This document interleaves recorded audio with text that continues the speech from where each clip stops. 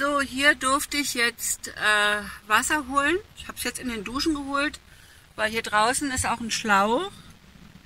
Aber ich weiß nicht, wie lange der da hängt und da das Wasser drin steht. Und deswegen bin ich lieber reingegangen und habe mir mit der Gießkanne Wasser geholt.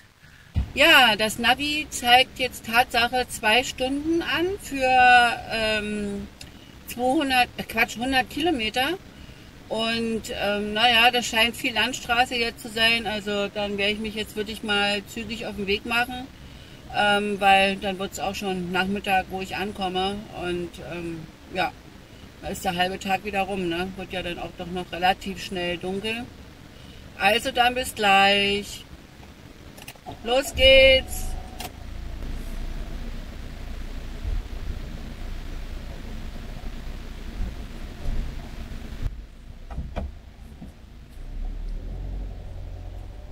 Tschüss, Peenemünde. Es war schön hier. Rechts abbiegen. Ja, Ei, Ei, Sir. Ei, Ei, Karin. Links Ich. abbiegen, dann rechts abbiegen.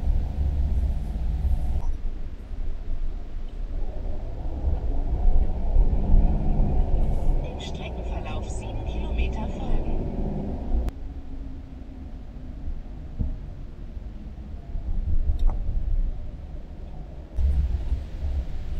Ja, hier fahren wir jetzt an dem Museum vorbei, an der Museumstraße. um auf Museumstraße zu bleiben. Und das Navi schickt mich jetzt nach links auf Museumstraße. Da könnt ihr mal gucken, wo ich bin. Nichts mit Museumstraße hier. Auf jeden Fall waren wir hier in diesem Museum auch schon mal drin. Und ähm, das ist sehenswert. Alles, was es hier so gibt, das könnt ihr euch gerne mal angucken, wenn ihr auf Usedom seid. Ist sehr interessant. Das ist doch ein Witz, was die mir hier wieder erzählt.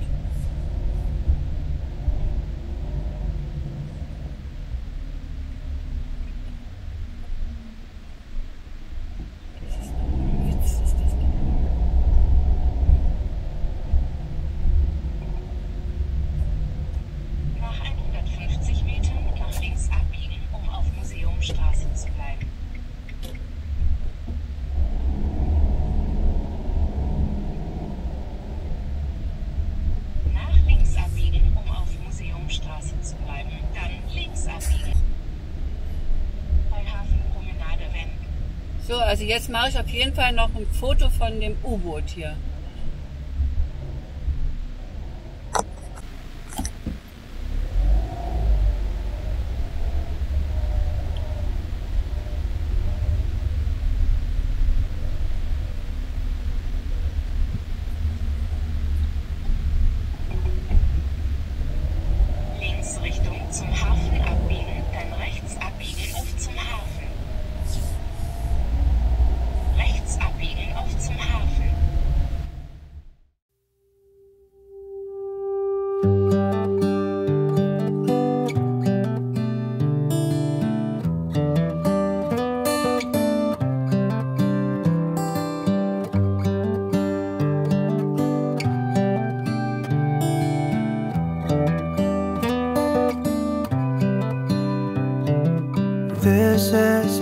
A day as any to start the rebuilding of life. The roads that lay open are many when the old one's gone under the knife.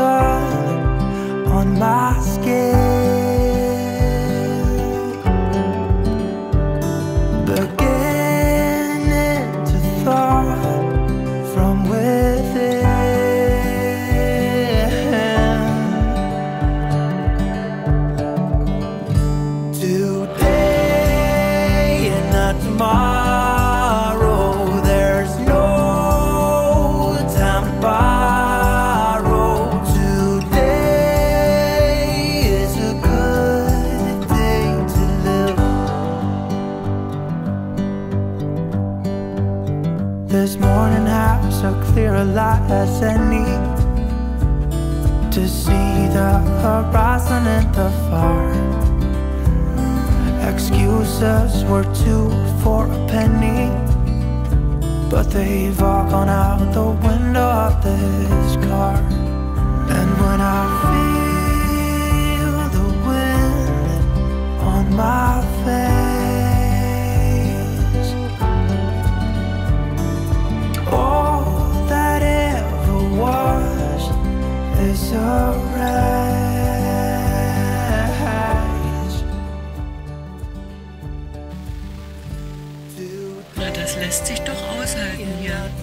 hier stehen bleiben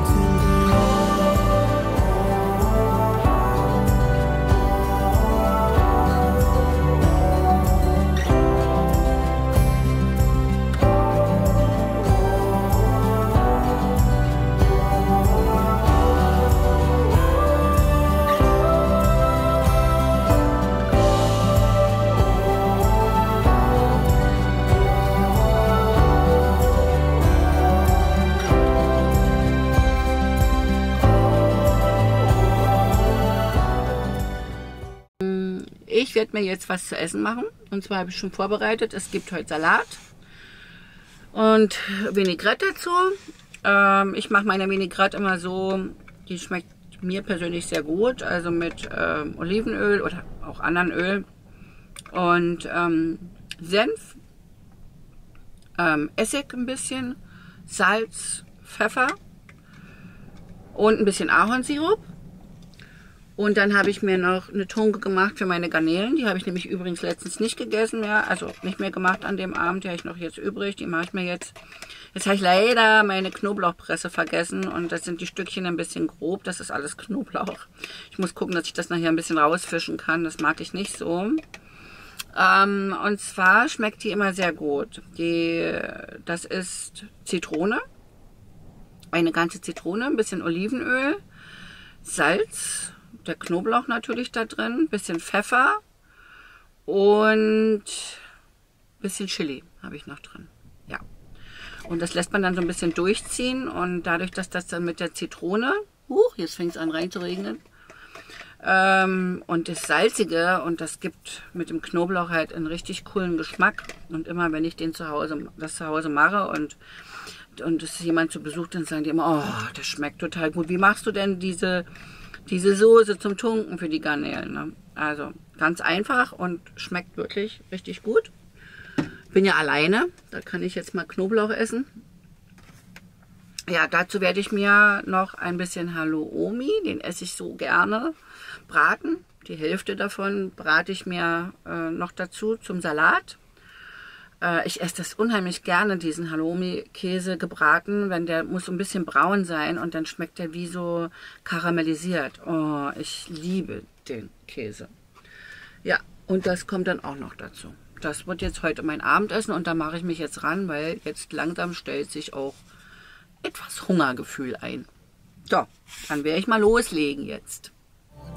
Time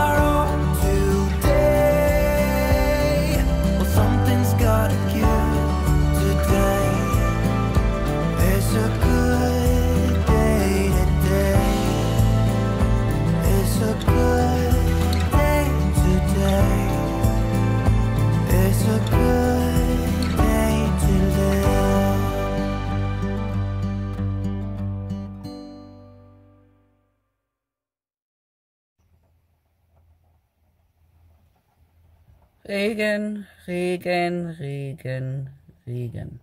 Hallo, liebe Videofreunde. Ja, ist Nachmittag und es regnet immer noch. Also, da tut sich heute nichts mehr. Der Tag ist, der Käse ist gegessen an dem Tag, wollte ich sagen. Ja, Wettervorhersagen Auf die kann man sich im Moment wirklich nicht verlassen. Kann man halt nicht ändern. Ich sitze hier vom Computer und schneide ein paar Videos und Bildbearbeitung und ich habe genug zu tun. Ich habe keine Langeweile, um Gottes Willen. Und es tut mir auch mal ganz gut, muss ich ganz ehrlich sagen, ähm, wenn ich mal nichts mache. Also es gibt Versorgung äh, mit Wasser, ist da, eine Station, auch Entsorgung äh, Chemietoilette. So, hier ist die Stelle äh, der Entsorgung, also Frischwasser, Toilettenentsorgung, Grauwasser, ja, alles da. Und ähm, der Platz kostet 17 Euro. Äh, mit allem, inklusive Strom. Ja, was gibt es zu sagen? Kurzes Statement zur Trockentrenntoilette. ich muss gestern Abend so lachen. Ich habe gestern Abend hier gesessen und habe äh, ja mein Essen gemacht und habe nebenbei äh, dann beim Essen geguckt, äh, Kai sein neuestes Video über die Fazit von der TTT und das war zum Essen sehr appetitlich. Der hatte überhaupt kein Blatt vom Mund genommen, mein lieber Scholli, ey sehr appetitlich, aber gut, ich bin da nicht so empfindlich. Und ähm, ja, das war aber ganz interessant für mich, weil ich habe dann nochmal so ein paar Punkte rausgefunden, wo ich glaube, vielleicht noch eventuell ein paar Fehler gemacht habe. Und habe dann auch nochmal kurzzeitig danach nachgefragt bei ihm und ähm, ja, da erklärt vielleicht so das eine oder andere, was ich am Anfang für Probleme hatte mit dem Geruch und so. Ich erzähle euch das am Ende der Reise nochmal genauer. Da zeige ich auch nochmal die Punkte, die ähm, also nicht so ganz optimal sind ähm, und aber auch die Vorteile. Und ich kann nur jetzt nach einer Woche schon so viel sagen, also das ist schon eine feine Sache. Das muss man ehrlich sagen. Ich habe auch keine Probleme mehr mit Geruch oder irgendwas. Das hat sich ähm, dann ja erübrigt und aber ich erzähle euch das dann wie gesagt in einem extra Video. Dann könnt ihr auch danach nochmal Fragen stellen nach dem Video und werden wir euch beantworten. Und erzähle ich dann noch mal ein bisschen genauer. Ne? Ja, äh, dann möchte ich mich bei euch bedanken. Und zwar habt ihr uns aufmerksam gemacht über diesen Flexischlauch, dass der ähm, also gesundheitsschädlich ist und man den nicht als Trinkwasserschlauch benutzen sollte. Dafür herzlichen Dank. Wir sind da völlig naiv und unbedarft rangegangen. Wir gehen in einen Campingladen und dann gehen wir davon aus, wenn es da einen Wasserschlauch gibt, dass man den natürlich fürs Wohnmobil benutzen kann. Wir haben uns darüber auch nicht vorher informiert oder schlau gemacht oder so, ne? Wir fanden den einfach nur toll und ich trauere dem Teil echt wirklich dann hinterher. Wir haben jetzt einen neuen bestellt, weil er einfach so schön handlich ist, so klein und keinen Platz wegnimmt, leicht ist und ja, also ich, ich werde das, dem Schlauch würde ich nachtrauern, aber wir haben ihn nur zweimal benutzt. Also, ähm, ja, jetzt nicht mehr, weil ähm, ich möchte natürlich auch keine Schadstoffe in meinem Wasser haben. Ich benutze das eh nicht zum Trinken, aber man putzt sich halt doch die Zähne oder wäscht halt eben auch einen Salat, ne? Und von daher, ja, auch dem Hund habe ich davon nichts mehr gegeben. Der kriegt Mineralwasser im Moment stilles ähm, und heute früh habe ich dann Michael einen Link geschickt. Ich hatte mich dann ein bisschen schlau gemacht heute Morgen und mal nach Wasserschläuchen geguckt. Und dann hat er mich angerufen und hat gesagt, habe ich schon bestellt. Da sage ich, oh, warte doch mal ab, bis wir das mal uns gemeinsam besprechen. Nicht immer gleich bestellen. Ich wollte ja erst mal gucken, was er dazu sagt und ob es denn auch das Richtige diesmal ist. Ne? Aber da ist er manchmal sehr schnell. Und vor allen Dingen ging es mir auch um die Meterzahl, weil ich wollte keinen ewig langen Schlauch mehr haben, aber er hat Gott sei Dank auch wirklich nur fünf Meter bestellt, weil mehr auf gar keinen Fall ähm, alles, was drüber geht und äh, wir dann irgendwie keinen äh, Schlauch haben, der so lang ist, dann muss es halt mit Kannen aufgefüllt werden. Also ich will keinen ewig großen, dicken, fetten Schlauch da drinnen rumzuliegen haben. Wir haben sowieso äh, nicht so viel Stauraum im Kastenwagen und von daher, ähm, ja, war das natürlich eine tolle Sache. Sehr, sehr schade. Aber ja, ich hoffe, dass die Entwicklung dahin geht, dass es irgendwann mal solche Schläuche auch für Trinkwasser gibt, weil es einfach echt eine schöne Sache ist. Naja, schauen wir mal. Und dann wollte ich euch noch sagen, ähm, ja, Michaels Arbeit mit der Isolierung, das war für die Füße. Bitte kauft nicht dieses Isolierband, es hält nicht. Es ist einfach zu heiß, die Rohre sind zu heiß, es löst sich wieder ab, der Kleber hält nicht. Ja, die sind wieder abgegangen, also das können wir abmachen, das kann so nicht bleiben, das hat keinen Sinn. Ich habe immer wieder neu drum geklebt, aber es geht immer wieder ab, es hält nicht. Jetzt hat ja einer geschrieben, er hat sich das da mit Holz richtig verkleidet und ordentlich gemacht. Das ist bestimmt eine super Geschichte, aber das kommt für uns im Moment nicht in Frage. Also hat Michael jetzt nochmal neues Isolierband wohl bestellt oder hat sich da schlau gemacht, welches also dafür geeignet ist und ähm, wird das nochmal neu machen. Ja, und mal gucken, ob es dann hält. Ja, so, jetzt setze ich mich hier hin und mache weiter Videos und wir sehen uns dann, ja, morgen wahrscheinlich wieder. Schauen wir mal. Also, macht's gut.